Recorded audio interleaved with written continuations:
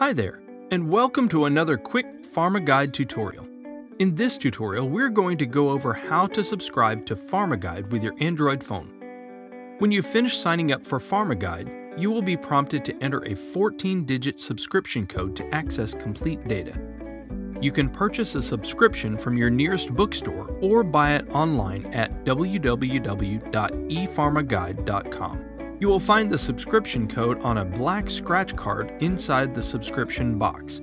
Make sure your phone is connected to the internet. When you have your code, go ahead and enter it to finish the subscription. Now all the data will be downloaded to your phone so you can access it offline. This may take a minute or two.